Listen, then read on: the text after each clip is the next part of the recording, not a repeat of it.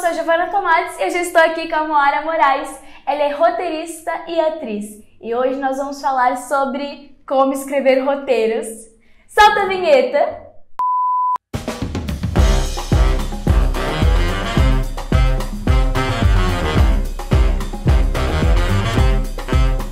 Com apenas 16 anos, Moara já é roteirista e tem vários textos em teatros e musicais. Como que surgiu esse interesse de escrever roteiro?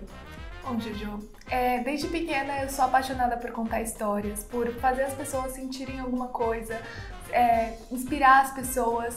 Então, acho que foi uma vontade que nasceu comigo.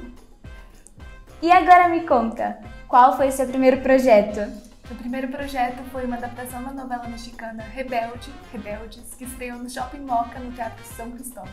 E que, inclusive, eu tive a oportunidade de participar atuando nos palcos desse teatro musical. Eu fiz a personagem Mickey e eu amei. Foi uma personagem super divertida de escrever, que eu sei que todo mundo odeia essa personagem, mas eu me divirto horrores com ela. eu também adorei fazer ela. Inclusive, me conta um pouquinho de como que você sentiu essa energia na hora de ver a peça estreando. Foi muito legal. É, ver o seu texto nas mãos de outras pessoas é uma experiência maravilhosa. Mas em relação aos seus roteiros, você faz muito para teatro, teatro musical. Mas você tem interesse também de levar seus roteiros para o cinema? Sim, com certeza. Eu amo audiovisual. Inclusive, acabei de gravar um curta chamado Can't You See This. É um curta totalmente em inglês.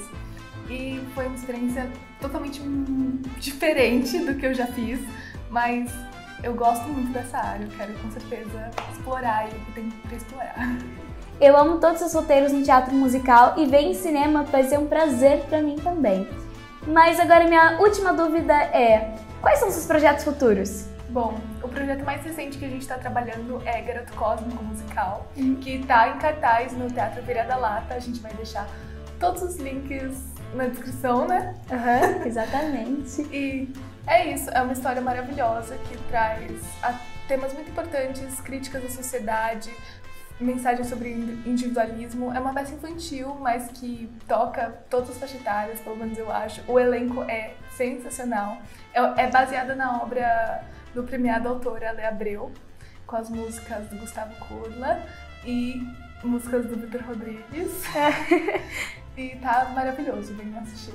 Realmente está incrível esse musical, gente. Teve agora a estreia e eu particularmente amei muito. É, super indico para vocês, como ela falou, vai estar tá aqui na descrição todas as informações para vocês não perderem. Estamos chegando ao fim da nossa entrevista. Foi um prazer estar aqui hoje com você. Eu adorei dessa entrevista. Mas a gente também vai deixar aqui todos os links de acesso às redes sociais dela aqui na descrição, não é mesmo? Prazer é todo meu, Jojo. Muito obrigada pelo convite. Foi uma honra estar aqui com você.